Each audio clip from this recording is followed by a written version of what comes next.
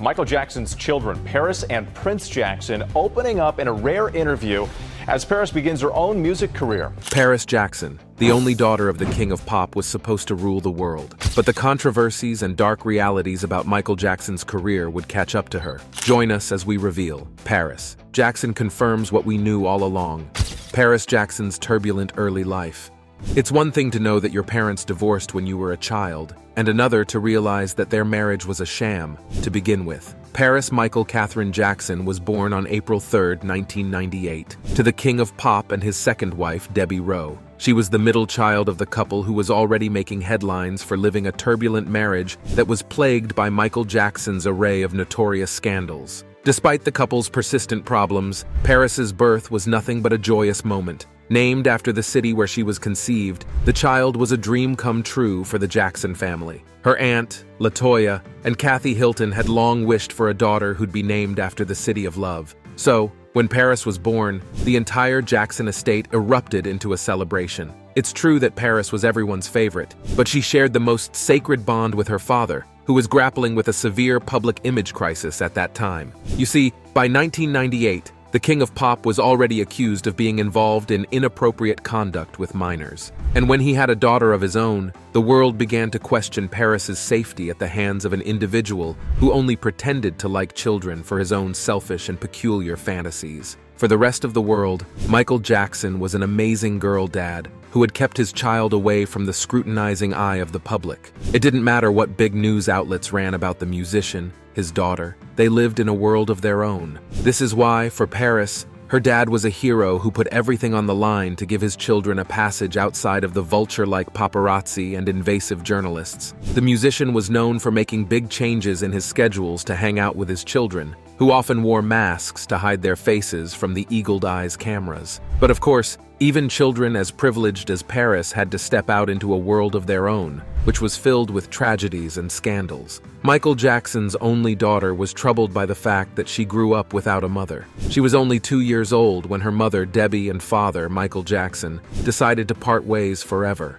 The media was already speculating about the end of a marriage that didn't exactly yield explosive divorce settlements and ugly court files. After all, despite the couple's public sham to appear as a happy couple, the world already knew about their dark truth. The matrimonial alliance between Debbie and Michael was a mere business deal. The singer's first marriage was with Lisa Marie Presley, the daughter of Elvis Presley. While the couple had their period of romantic bliss, the public accusations against Jackson changed their relationship forever, and for the worse. There was only one thing that Jackson had desired from his marriage children. Yet Presley wasn't sure about starting a family with a person whom she didn't see much of a future with. This is when the musician begins to get close to Debbie, who was the assistant to Jackson's dermatologist, Dr. Arnold Klein. Since Michael was already diagnosed with lupus and vitiligo, he was always in and out of his dermatologist's clinic. With the passage of time, his friendship with Debbie turned into a forbidden relationship that the singer's wife, Lisa, didn't approve of. But she was already done with the marriage and realized that Debbie had offered to carry Jackson's children in exchange for a transactional marriage. So, she wasn't shocked that a very plain-looking, unglamorous, average Jane of an assistant married her former husband. Throughout their marriage, Jackson categorically denied that Debbie's only role was carrying his children. There were rumors that the couple wasn't a typical couple, and their two children were born out of artificial insemination. Well, it wasn't easy to verify those rumors, but one thing was clear. Paris's mother didn't look back at her children when she divorced Michael Jackson. During her marriage, she had received millions of dollars as gifts from the singer. Oddly enough, a lot of monetary transitions also coincided with the birth of the couple's two children, Prince and Paris. When they finally called it quits, Debbie silently took a hefty amount of divorce settlement and gave up any sort of custody rights for her two children. The divorce was pretty swift to everyone's wonder. The rumors about the couple's transactional marriage became a pretty factual headline around 2002. While the world was debating the nature of Debbie's relationship with the king of pop, Paris was grappling with her own struggle. She was only two years old when her mother suddenly went away from her life, leaving her busy father as her sole guardian. In the years growing up, Paris didn't get the chance to feel motherly love. On top of that, the media incessantly speculated ruthless stories about the Jackson children and their predicament at their own home. People were calling them kids born out of surrogacy, rather than a loving, romantic relationship. It would take years for Debbie to tell the world that she didn't intend to be the loving mother everyone expected her to be. My kids don't call me mom because I don't want them to. Her relationship with Jackson was strictly professional. In fact, the couple never even slept together. In her own words, they impregnated me. It's just like I impregnate my mares for breeding. It was very technical. I was his thoroughbred, so she didn't feel the incentive and need to be there for her children, who grew up in the middle of Jackson's very public and legal fight to save his reputation. Paris would be a teenager when she would eventually reunite with her mother, but that was too late. The only daughter of the king of pop had gotten accustomed to life-threatening vices to cope with the reality that left her and millions of others in shock and disbelief. Paris's bond with her father. With her mother gone, Paris spent most of her life at her father's Neverland Ranch, away from the public eye and scrutiny. At this time, Michael was still grappling with severe child abuse allegations, as investigative journalists made several attempts to pen down exposés on the star's life. His notorious divorce with Debbie had also added a strain to his reputation, and as he embarked on colossal musical success and sold arenas, his public image was more speculative than ever. So, it is not shocking to know that Paris Jackson didn't have a typical childhood experience. It wasn't easy for her to enroll herself in a children's summer camp while her dad was away. Everywhere the child went, she was forced to hear about the alleged crimes of her father that she knew nothing about. So, Michael Jackson, who was a really good father by all accords, brought hands-on learning to his children in the sanctity of their home. The musician made sure that his children were cultured and received the best possible education. Paris recalls that her father used to take them to luxurious five-star hotels and cafes to teach them the subtle art of fitting into high society. He showed them all of the glitz and glamour of the world that remained inaccessible to the children due to the constant media surveillance and fans who couldn't take a hint. But more than that, Michael Jackson showed them the world that was devoid of riches and privileges. Even though Prince and Paris were born with silver spoons in their mouths, the singer also made sure that his children knew the ropes of living life without wealth and luxury. This is why the children hardly lived in big and glamorous cities like Los Angeles, New York City, and Paris. Instead, Michael Jackson took them to third world countries and introduced them to an entirely new culture of struggle, striving, and hustle that was devoid of material inheritance and generational wealth. According to the sources close to the king of pop, he wanted his children to learn the importance of sheer hard work and struggle instead of just riding on their last name. Sure, he introduced them to the rich culture of music, art, dance, and acting, but wanted them to try and test their talents in the real, visceral world without using their father's name. This is why today, Paris Jackson has made her life's mission to do right by her dad's teachings. At the age of 25, she is the only Jackson daughter who has proved herself in multiple arenas. She's known to be a proficient musician, actor, and a popular name in the world of modeling. Trust us when we say that her trajectory wasn't exactly convenient. Despite having Jackson as her last name, she had to fight off the bad reputation that her dad had left in the world. But the actress slash musician navigated a difficult career as her dad taught her the ultimate struggle to earn fame and popularity. In an interview with Naomi Campbell in 2021, Paris revealed, Even growing up, it was about earning stuff. If we wanted five toys from FAO Schwarz or Toys R Us, we had to read five books. It's earning it, not just being entitled to certain things or thinking, oh, I got this. It's like working for it, working hard for it. It's something else entirely. It's an accomplishment. Perhaps this is why Paris is an active name in the Hollywood industry, who is known for doing her grunt work. She loves to show up to auditions, read through scripts, and spend hours in the studio producing her original music. It's true that Paris has left her own mark on the musical industry. Her debut album, Wilted, was released in 2020. And well, her critics were pleasantly surprised to see how Paris had found her own musical signature, rather than blatantly copying her father's success formula. Even then, Paris credited her dad for guiding her musical inspirations. Her own sound was influenced by the music that her hitmaker dad used to play for her, including the Motown beats and the Beatles. Apparently, Jackson was the pioneer of pop, but introduced her daughter to genres like jazz, the blues, classical music, soft rock, and rock. So even when Paris deviates away from her father as her sole musical influence, she has found a way to memorialize him in her music. The singer has often talked about how her dad would always find time and space to teach her music, lyricism, and playing instruments. While he was mostly busy with touring and rolling out successful albums, he would take his daughter along the ride and made sure to give her his undivided attention. This is probably why Paris was known to be Jackson's favorite child. She was his only daughter and shared a deep appreciation for music just like he did. Paris Jackson has talked multiple times about the turmoil of growing up without a mother. She would only reunite with Debbie Rowe in the aftermath of losing her father and hitting rock bottom due to her mental health struggles. But nothing would compare to the sheer loss and grief she'd feel after losing her father, who left a remarkable legacy as well as a string of controversies that would forever haunt his children. The death of Michael Jackson. It was June 25, 2009, when popular websites experienced a worldwide crash. Sites like Google, Twitter, Wikipedia, and America Online Instant Messenger lagged and slowed down, as if the world was experiencing a massive internet outage, or worse, a turbulent cyber attack. But well, the reality was far more bleak. You see, the world had just heard the news of the king of pop dying of cardiac arrest, and everyone, in sheer disbelief, wanted to gauge the truth behind the news themselves. Michael Jackson's death was nothing but controversial. The singer was preparing for his concert residency that was due to begin in London when he approached his doctor with a persistent issue of difficulty sleeping. His personal physician, Conrad Murray, had given him heavy doses of propofol, lorazepam, and midazolam that the singer popped like candies. Eventually, it was a propofol overdose that would lead the singer to a cardiac arrest in his own home in Los Angeles. Apparently, by the time 911 was called,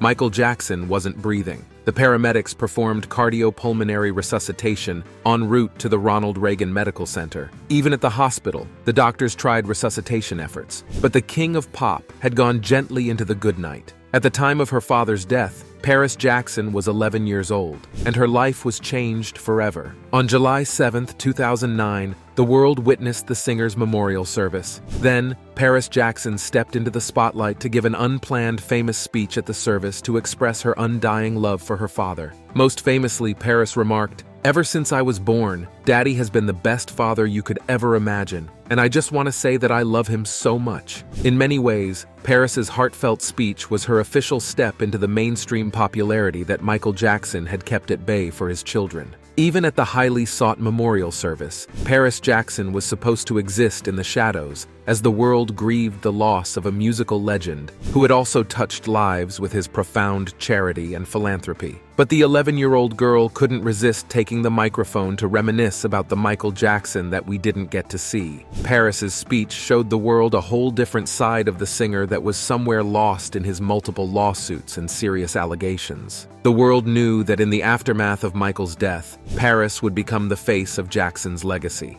After the memorial service, the world dived into the uncertainty around Jackson's death. There was no doubt that the singer had died due to a cardiac arrest induced by a heavy intake of drugs. But the singer was known to be meticulous about his health and his medical decisions. It was highly out of character for him to pop pill after pill. It's true that his physician, Murray, had depicted miscalculated medical judgment while prescribing pills to his high-profile patient. Since Conrad had failed to regulate the doses of anesthetic propofol for his patient, he was found guilty of involuntary manslaughter. Many people assumed that the curious case of Michael Jackson's death was done and dusted when something even more turbulent happened. When Paris Jackson made her entry into the mainstream media as a teenager, she kept reiterating a dark reality about the death of her father. Believe it or not, to this date, the troubled daughter of the celebrated musician believes that her dad was murdered. When Paris was 18 years old, she began to tell the world about the fears and insecurities her father had. Before his tragic demise in 2009, Jackson had warned his daughter that there were some people who didn't want to see him alive and making music. While he kept the identity of those individuals anonymous, he was scared of people who were out there to get him. Paris was hardly 11 back then.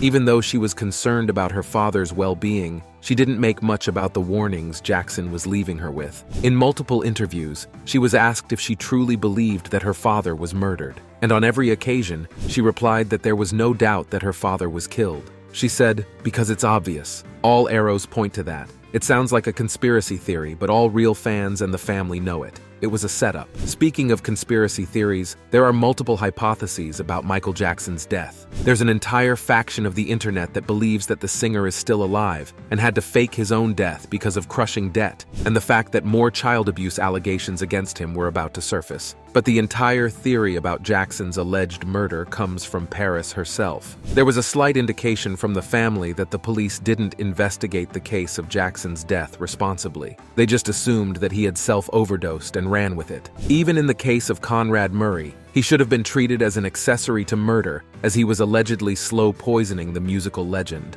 At the apex of her career, Paris even hinted that she was trying her best to expose the actual murderers of her father. In her own words, I am playing a chess game to bring the perpetrators to justice. It's not a surprise that her words had gone viral, but some ardent Michael Jackson fans had predicted that some powerful people were behind the singer's death, and even Paris's consistent efforts wouldn't bring them down. And well, to be fair, the singer model hardly brings up the alleged murder of her father in her interviews. But of course, there are other rumors and conspiracy theories that have badgered Paris several times, so much so that she has to step out of her position as a social media recluse to answer some of her harshest critics. When Paris started to make waves in the mainstream media as soon as her career took off, she was attacked by several rumors that left her emotionally vulnerable. But there was one rumor that she remains pretty staunch about. A popular speculative theory suggests that Paris isn't Michael Jackson's biological child, and their evidence is her stark white face that doesn't reflect the fact that she's actually mixed race. It was rumored that Debbie had slept with someone else during her marriage with the King of Pop,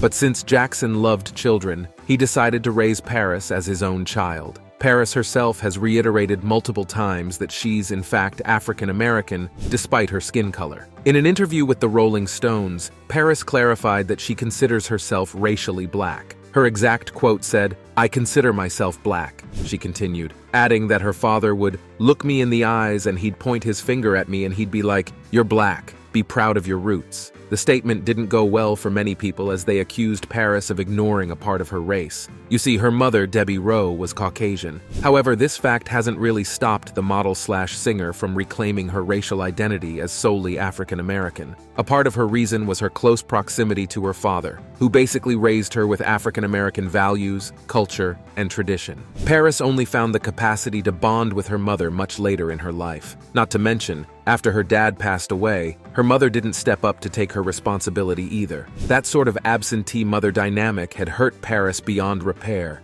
who had fallen into the trap of addiction and devastating coping mechanisms. After Jackson's passing, it was Paris's paternal grandmother who raised her and her siblings. Alienated from her mother for several years, the young model didn't ever learn to embrace a part of her identity that simply didn't matter to her. But of course, she had other pressing matters on her hands too. When Paris kickstarted her Hollywood career, she expected to find a clean slate for the tainted Jackson name. But nope, the skeletons of her father's allegedly disgraced choices returned to haunt her. Even today, Paris Jackson feels the soul-crushing pressure to tell the truth about her father's scandal that almost wrecked his career and family life in the early to mid-90s. And well, let's just say that Paris has gotten into a lot of hot water for making several statements about her father's involvement in a legal settlement that shook the world.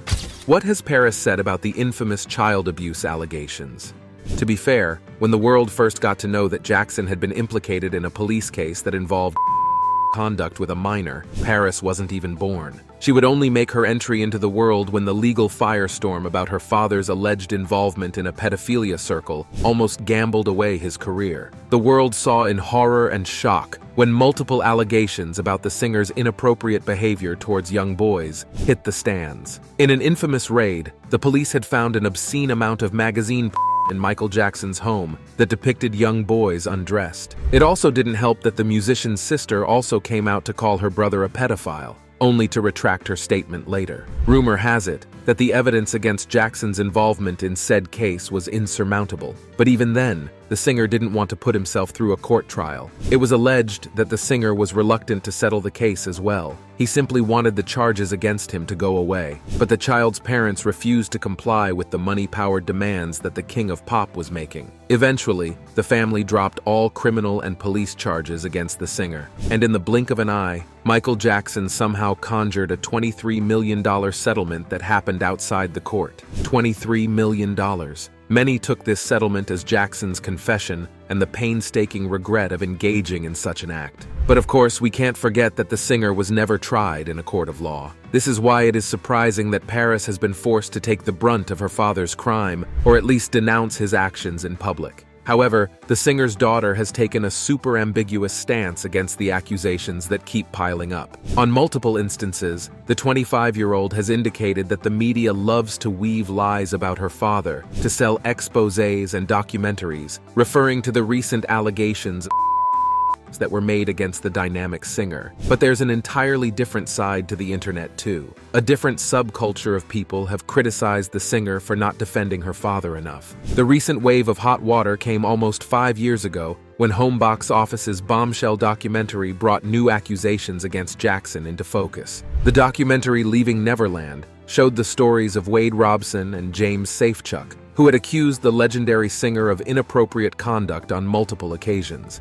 As soon as the documentary went on air, the internet was in turmoil when they learned how Jackson was able to stall any grave allegations against him that could have killed his career. While several people supported Robson and Safechuck, others couldn't really get behind the documentary and the evidence it suggested. Either way, people wanted some response from Paris Jackson, who eventually took to Twitter to reveal that she doesn't feel the responsibility to defend her father every single day. It was actually Jackson's nephew, Taj, who became the rallying face behind the accusations that were made in Leaving Neverland. On the other hand, Paris took a more laid-back approach to the explosive confessions that Home Box Office aired on several platforms. In the midst of the controversy, Paris seemed to be more concerned about her career, which was already taking a hit in the aftermath of accusations that had resurfaced on the internet and beyond. Rather than defending her father or validating the victims, she was more interested in solving the public relations crisis brewing at the bombshell documentary's back end. Later, Paris was dragged on the internet for posing a selfish outlook on the matter,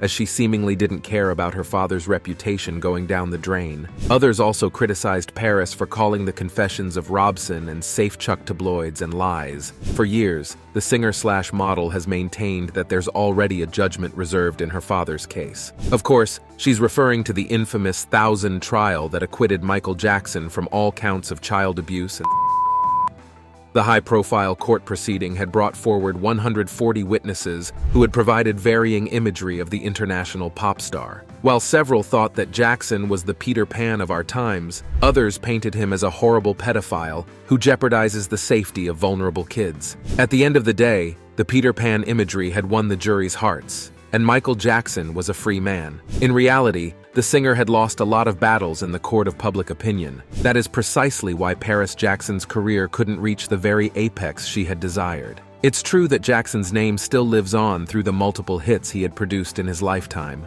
but the arsenal of allegations against the singer and Paris's refusal to talk openly about them has further strained her career. It was long speculated that Michael Jackson had close ties with the infamous offender Jeffrey Epstein. In January 2024, court documents from Epstein's high-profile case named Michael Jackson as one of the attendees of his parties that mainly took place on his islands. The singer's direct involvement was never proven, but the files suggested that the legendary singer had attended those events. Once again, people prompted Paris to respond to these allegations as she has a history of calling any evidence against her father a conjured conspiracy theory or a fabricated story. But Paris didn't respond to any prompts and requests made by her own fans. Even then, Paris cites her dad as the most important person in her life, whose cherished memories kept her going in the darkest of times. It's true that the singer has bounced back from crushing mental health struggles and a case that derailed her life, and she wouldn't have been able to do any of that if it wasn't for her legendary father. Thanks for watching, and we will see you in the next one.